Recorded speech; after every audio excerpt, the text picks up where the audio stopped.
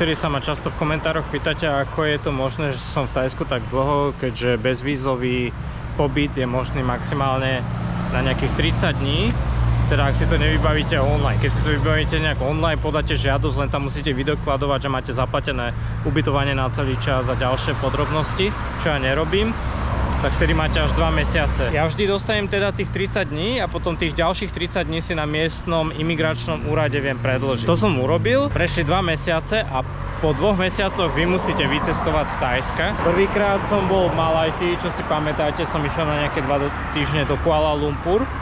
A teraz druhýkrát som sa rozhodol, že nechcem leteť, urobil som si takú jednoduchšiu a rýchlejšiu verziu a to je, že tam som si zaplatil van, pôjdeme si ho ukázať ten van ma odveze na kambodské hranice.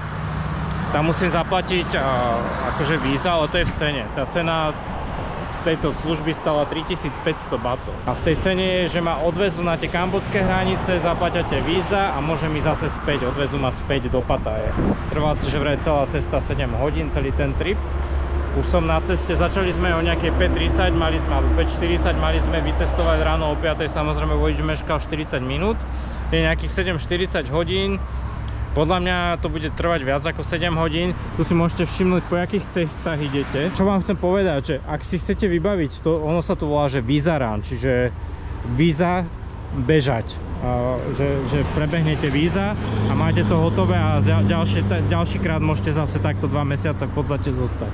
Čiže mesiac máte zase bezvízový a mesiac potom zase na miestnom migračnom úrade. Takže po takejto ceste ideme už v podstate 2 hodiny ja som čakal, že tá cesta bude oveľa horšia, ja som spokojný.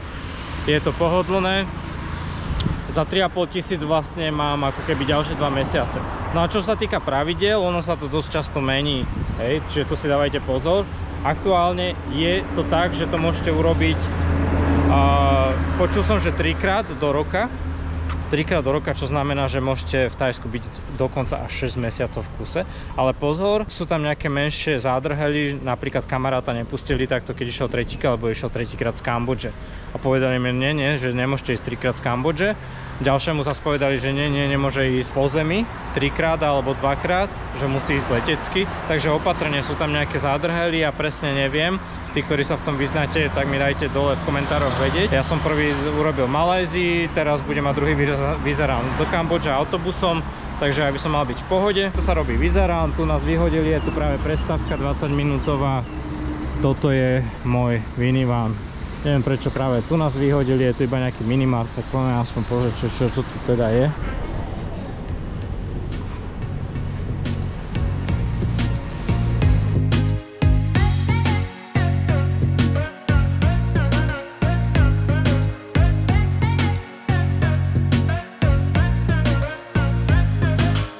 Celkovo po nejakých 4 hodinách, keď sme vyštartovali, tak tam by mali byť kambočské hranice už tamto Dragon. A toto je tu niečo pred kambočské. A ideme sem, welcome to Banila Rest area. S pasmi a neviem čím. Celkom zvláštne toto vyzerá, ale je to šialené, že kvôli jednej pečiatke takáto šaškáreň ako. Musíte cestovať niekoľko hodín na hranicu, potom späť kvôli jednej pečiatke. Nielen ja, všetci tí ľudia, no, čo chcú ísť zase do Tajska. Aj títo úradníci a tieto úradnícke veci, ne? ja to fakt nemusím. Tak všetci ako klauni sme tu šašovia. Nejaké menšie papierovačky som prešiel, dostal som tu tlačivo, ktoré som vyplnil. No, no, usmievala ona, neviem čo to je tajka alebo kambožanka. Mám aj pás, neviem čo mi to tam nalepili. Visa Rounds, Tourist Visa a po, upozornil ma typek, že tu môžem kľudne natáčať, ale na hranici ho ukázal tým smerom, takže tu asi hranica, tak tam nemôžem natáčať. Išli sme tu cez toto mestečko a celkom taká divočina, akože dosť to tu žije. Na, na jeden, dva dní by som sa tu zastavil, ak by sa dalo, ale asi sa to nedá. A musím vybaviť nejaké veci, lebo veci mám v práčovne a už včera som si ich mal vyzdvihnúť v. A plus ešte nemám zaplatený hotel, ten si musím zaplatiť každú chvíľu. Takže obchodíky a toto je asi taká iba cestovná cestovná záležitosť, že tu sú ľudia z cestovnej agentúry a oni vám vyplňate tlačiva, toto mi tu dali pečiatku, ešte musíme ísť na hranicu. Čiže o chvíľu budeme v Kamboči, keď sa tuto dovybavujú papierovačky. tourist service, turistický servis, informácie. Možno sem ide aj samotný autobus, ktorý by bol lacnejší a potom si vlastne všetky tie veci, ktoré potrebujete vybaviť, vybavíte priamo tu a možno viac to vyšlo lacnejšie. Neviem, to je môj tip. Teraz mi povedal, že mám ísť a ja neviem kam mám ísť. To tento sedel vedľa mňa v autobuse. Hello. Toto je hranica? Ja som úplne zmetený. Alebo tam to je hranica. Kámo. Dosť divoké mesto. Je tu trošku zimšie ako v Pataji, lebo videl som nejaké hory tu na blízku. A je zamračené. Tu už vyzerá byť na hranicu. Mhm, to je auto. Čiže tu takto vyzerá tajsko-kambodžská hranica. A tu, tu si vlastne už to mám asi sám vybaviť. Mám ísť a späť, alebo vôbec mi nikto nič nepovedal. Len to, že asi Kambodža tam. Dve mestečka spojené hranicou. Pozrite, koľko ľudí. Ja sa idem držať tohto, tejto ženy alebo muža v zelenej mikine. Neviem, či tu môžem natáčať, ale je to také rodinka, je tam ale blondiavé dievčatko a všetci tí Tajci a Kambodžania na ne veľmi pozerajú, lebo asi mnohí z nich nevideli malé blondiavé dievčatko.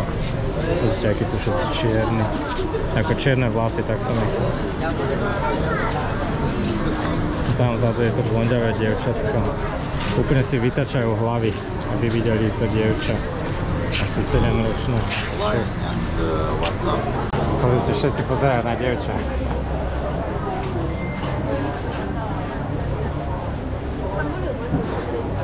No a práve prechádzam, tu už som v Kambodži, na hello, hello. No, just... No, no. Check passport. Passport, passport. What do you mean? Where you go? Just here. And come back. Check passport. Oh. Come here. Come.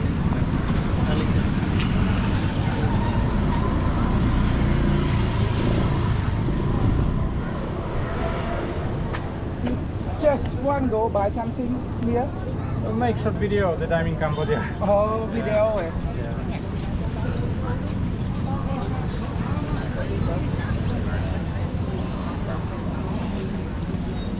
why the lock? So you can go This way. this around.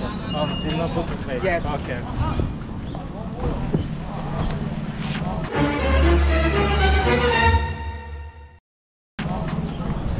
Tak a sme v Kambodži, tak a sme v Kambodži asi po, ja neviem, vyše roku. Vyzerá to tu už tak, uh, jak by som povedal, jednoduchšie. Tu hneď nejaký typek sa na mňa zavesil. Malá mačka hladná. Tam nejaký policaj mi povedal, že 10 minút, no. Pozrite, tu máte jednoduché obchody. Celé to tu už vyzerá také špinavšie, jednoduchšie, to hneď len jak prejdete cez hranicu. A za mňou, tuto na, napravo, za mňou ma tu prenasleduje taký podozrivý človek, ale neviem čo odo mňa chce. Nikto tu není, no ale idem už nejak ďaleko a chcel by som sa vrátiť, tak aby tam eh, nečakali dlho na mňa, tak asi pôjdem späť. No. tak to bola Kambodža, tam ten je zmetený, nevie, či ma zastavil, nevedel, či ma má prenasledovať alebo ne. Ja by som vám to tu chcel poukazovať, ak to tu vyzerá, ale nechcem zdržovať ten van.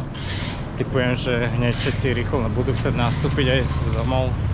Tak aspoň túto, tento koridor vstupný som vám ukázal, toto je vlastne, a není to ani bezcelná zóna. Chcel som povedať, že to je kambodská bezcelná zóna, ale není to. Tak my ideme späť. A tu za týmto modrým plotom už sa nemôže natáčať. This way. Takto to tu vyzerá na hranici úplne medzi, tam je tajská strana a tu je kambodská, pozrite. A tu ide kamión. Kamión sa nachádza medzi hranicami v podstate teraz. A sme späť v Tajsku. A si jednu vec. Samozrejme za mňa už není rada. Lebo neviem prečo. Všetci naraz zase sme zadovalili, aby sme sa zdržovali a stali v rade. Takéto auta s jedlom. Takto sa tu nosí tovar. Wow. Ovocie, zelenina. Toto smeruje do Kambodže. Z Tajska. Oni inak nie sú veľmi spriateľné krajiny. A tam máte tú hranicu. Takto sa preváža teda jedlo a kontraband a všeličo možné. Tak som prekvapený, že Tajci dovolia takéto niečo, že nútia vlastne turistov, aby išli sem a späť vymysleli také, nie že nutia, ale vymysleli také pravidla, ktoré ako keby nutia mňa sem ísť, lebo Kambodža je najbližšia a späť. Vlastne ja som musel zaplatiť víza 35 eur na kambodskej strane, čo bolo v cene tých 3,5 tisíc bátov, ktoré som platil agentúre. A vlastne tak dávajú zarábať v krajine, ktorá nie je moc spriateľená s nimi, ktorá má iný politický názor. Čo je také čudné a Jednoducho, nech to nastavia tak, nech to není, že mesiac za mesiac a potom musím ísť na otočku. Nech to buď zatrhnú kompletne, alebo nech to nech si vypýtajú nejakú sumu a môžem tu zostať pol roka. Nech, ale na čo zbytočne na migračných zamestnávajú ľudí milión nepotrebnými vecami a úkonmi a furt, aby každý mesiac niekto niekde chodil a to sú nezmysly ako no. A tam je môj van a nikto není pri ňom. Len tam to vyzerá na nejakú jedalen, tak poďme to omrknúť. Ale neviem, či by som mal jesť, aby som zase nemal nejaké, nejaké črevné potiaže, ale, alebo obťaže. Naštartovaný van. Asi si dám nejakú vodu a niečo ľahké by to chcel nejakú polievku. Tak to bola taká malá ukážka, ako sa robí Vizarán, niekoľko hodinový. Oni hovorili, že to je 7 hodín, podľa mňa to bude 9 alebo 10. A do Kambodže Čiže ak, potreba, ak vám koča víza a potrebujete zase na novo prísť, tak víza rád do Kambodže, takýmto minimálom.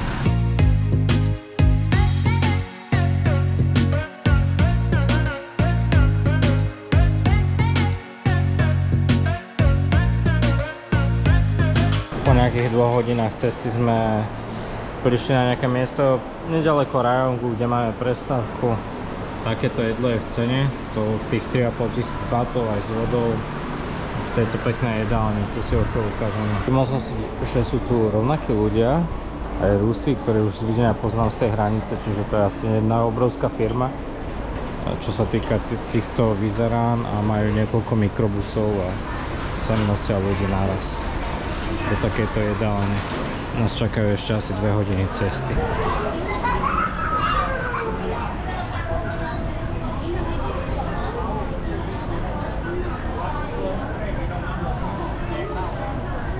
hneď vedľa jedálne máme zaujímavý obchod alebo reštaurácia, alebo čo to je. Tuk-tuky formule sú tu. Máme nejaká ponorka, vzducholoď. Elvis Presley, tu je nejaký indián ako. To sú v podstate také americké symboly všetko. Až na toto. A to, že Banta kafe. Tu si môžeme dať kávu.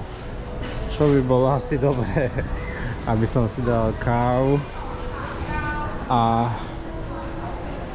aby som vydržal čo najdlhšie lebo keď zaspím teraz, keď prídeme domov nejakej 3. 4. zase budem mať veľmi zlý režim čo ovplyvní to, že nebudem vydávať veľmi veľa vlogov lebo vlogy väčšinou chcem točiť cez deň no a posledný týždeň zase som bol taký že som furt spal cez deň a, a hore som bol v noci aha, takže tu máš aj záhradu Wow, dobre to tu vyzerá.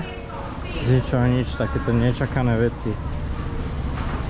Poďme pozrieť záhradu Banta Cafe. Chcelo by to ísť niekde do miestnosti, kde je klíma. Alebo fan, jak sa to povie po slovensky, furt zabudám ventilátor. Niekto sa tu s tým poriadne pohral tu, nalial tu peniaze opäť do kaviárne nedaleko od Rajongu Tigre ok tam sú nejaké tiež ale tu je teplo no poďme inde, tu je teplo toto je ďalšia vec, čo sa mi veľmi páči na Tajsku, lebo kdekoľvek prídete, majú naozaj nádherné kaviárne. Tie kaviárne to sú top, čo majú všade možné. Tu ešte nejaké jazero majú s vodotreskom. A tu je čo? Altánok na posedenie. No a my ideme späť do kaviárne. Ešte si pozrieme tento bicykel na tom som nikdy nejazdil ten pradávny bicykel a toto už mi pripomína trochu Filipíny aj keď také staré Filipíny. Tam fur majú trajcykle motorka alebo bicykel a niečo pripevnené zo nejaká sajtka ako napríklad túto tu sajtka na prevoz tovaru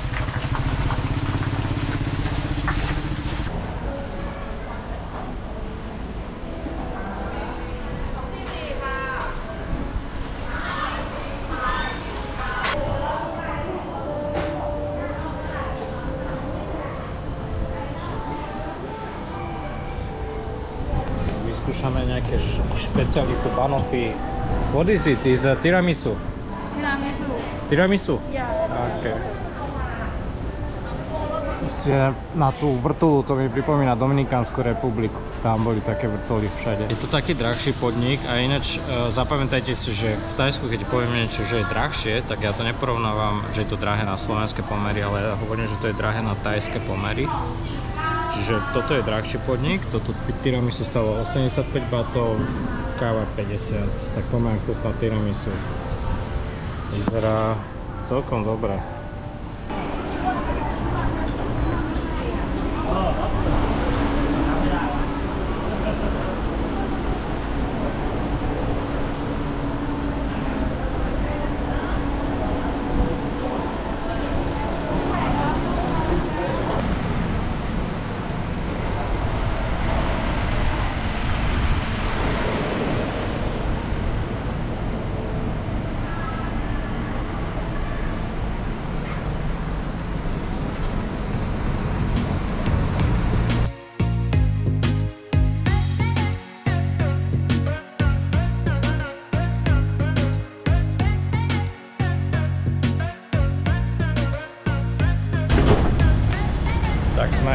Naspäť. Nakoniec som sa ešte trochu vytočil, lebo poslednú hodinu sme v Pataji a stal som sa vlastne taxikárom. A každého človeka sme proste odviezli domov. A ja som o hodinu chodil s týmto minivanom po miestach, kde bývali tí ľudia. A pýtal som sa že kam ideme, kam ideme a ako dlho a ako ďaleko, aby som, keby som to vedel, tak si zoberiem taxi. Zoberiem si taxík a idem taxikom. Čo by som bol doma podľa mňa za 10 minút, za 15. Takto som po hodine. Nechcel mi povedať. Takže po naučenie do budúcna, keď vám povedia a idete nejakým minivánom, nejdete osobným taxikom, že prídu priamo pre vás na hotel, tak je to pasca. Prečo? Lebo keď tým minivánom prídu po vás na hotel, to znamená, že idú aj pre ďalších na hotel, každý má niekde inde hotel a zrazu musíte byť taxikár s nimi. Čiže keď vy ste jeden z tých posledných, ktorého vysadia, ako som bol ja, tak vlastne beháte po celom meste.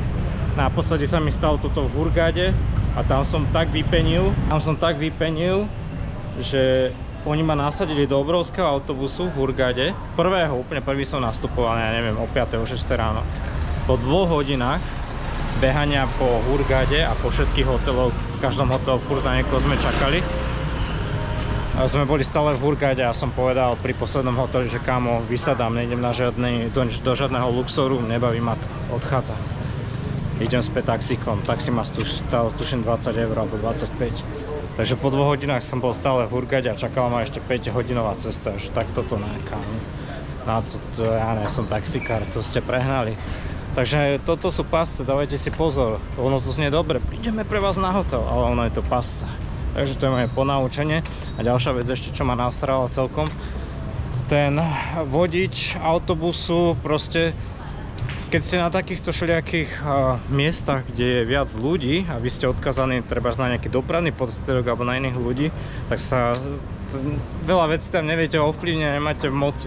Ako napríklad ten šofér, on si proste zastal a išiel si nakúpiť nejaké jablka, hej, a 10 minút nabu- na, nakupoval jablka na ceste domov a my desiati alebo koľkati sme tam boli, sme museli na neho čakať.